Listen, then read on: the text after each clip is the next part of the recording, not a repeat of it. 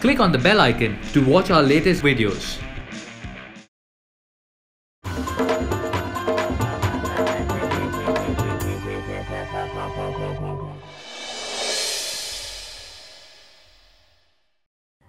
राम के अलावा नॉर्थ से साउथ की और कौन सी कहानियाँ हैं वो कई कहानियाँ हैं जैसे कार्तिकेय जो शिव जी के बेटे हैं वो कैलाश पर्वत से नाराज़ होकर साउथ आ जाते हैं हम्म, हम्म। अगस्त्य मुनि साउथ आ जाते हैं वो उनके साथ नदी लेके आते हैं कहते हैं कि कावेरी नदी वो गंगा का पानी लेके आए थे साउथ को।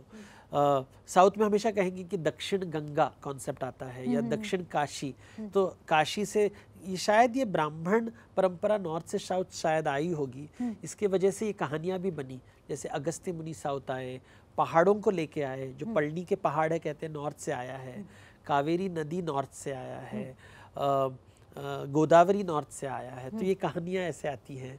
कई ऋषि आते हैं जैसे वैश्रव मुनि पुलत्स्य मुनि जो रावण के पिता हैं। तो ये स्टोरीज आते हैं रावण नॉर्थ से साउथ एक शिवलिंग को लेके आते हैं जो गोकर्ण में गणपति रोक देते हैं कि पूरा साउथ ना जाए वो बीच में रुक जाता है तो दखन में रुक जाता है अच्छा। श्रीरंगम मंदिर जो है उसके अंदर एक बहुत ही सुंदर विष्णु की मूर्ति है और कहते हैं ये इक्ष्वाकु वंश का है अयोध्या में होता था अच्छा। तो विभीषण उसको साउथ लेके आते हैं अच्छा। तो इसलिए वो दक्षिण के नॉर्मली मंदिर के जो मूर्तियाँ होती है वो ईस्ट की तरफ़ देखती है। हम्म, हम्म, हम्म। लेकिन ये मूर्ति साउथ की तरफ़ देखती है। अच्छा। तो ऐसे कहानी कई है नॉर्थ और साउथ को जोड़ने वाले।